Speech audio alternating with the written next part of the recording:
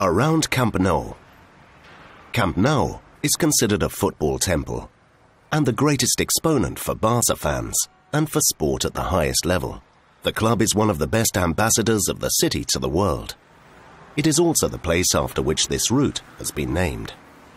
Sant Ramon Nonats Church is located very close to it. Built in 1924, it was burnt down during the Civil War. Architect Josep Maria Sagnier rebuilt it in 1940. He was the designer of many of the buildings in L'Eixample, as well as some landmark buildings, such as Basilica del Sagrat Cor del Tibidabo, visible from around the city. Sagnier made of Sant Ramon Nonat the best possible example of Romanesque revival architecture in Barcelona. Barça facilities include their museum, one of the most visited in Catalonia, and La Masia, a building from the 17th century where many of the best Barça footballers have been trained until recently. This route also grants the access to the cemetery of Las Cortes.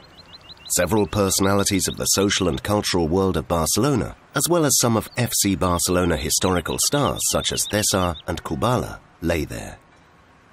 Nearby we find Finca Güell, East Gate, right by the School of Pharmacy, as well as the well-known Torre Rodona, or Can Vinyals de la Torre, one of the few examples of medieval rural architecture preserved in Las Cortes.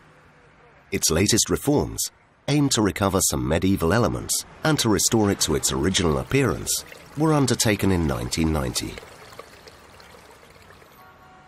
We also recommend visiting the lands of the former Institut Frenopatic, a psychiatric center founded in 1863 by Dr. Tomàs Dolsa. The park laying in the former La Maternitat allows us to discover its modernist pavilions. The blue pavilion and the pink pavilion are worth highlighting, although the gardens of La Maternitat are its most appealing sight. Nature and architecture merge uniquely at La Maternitat.